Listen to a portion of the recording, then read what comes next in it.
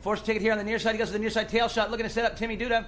Timmy comes back in, takes it away. Well done, Timmy, right there. But Hilario gets back to it, makes that near side back shot, sends the ball back up to Juan Britos. Juan out in front, now pulling away, looks good, gets past midfield, and now Britos from right to left brings this one back at the goal. Nice approach. Moves back over. Zavaleta can't get to him. Britos will pick up the first goal of the day right there, sending it straight on through. 1 0 now the score. Kehugador, what a power polo play there by Park Place.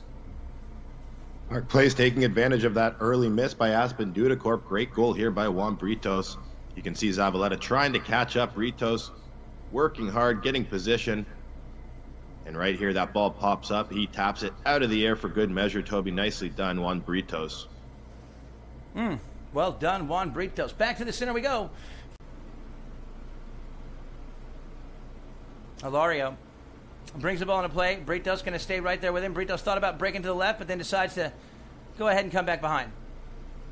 Now, Ulloa waits, and then Hilario is going to hit this ball right at the goal. Or excuse me, I'm sorry. Britos hits the ball right at the goal. Well done, Matt Coppola. That's the way. And beautiful play there by Matt. And Hilario will pick up another point, making the score now five to one. And that's the way to capitalize on a on a penalty one and make it a two goal swing. Absolutely, and we'll remember this play or this penalty one and this goal right here later in this game could be huge to get a big four goal lead here. You can see Coppola doing work against Gringo. Neither of them can get to that ball, and there is Ulloa. Nicely done by Hilario. Starts off the play and finishes it. Is first from the field and credit him with that penalty one, potentially two goals now for Hilario Ulloa. So here we go. Juan Britos, let's see if, he, if he's going to be able to continue to go here. Open back shot.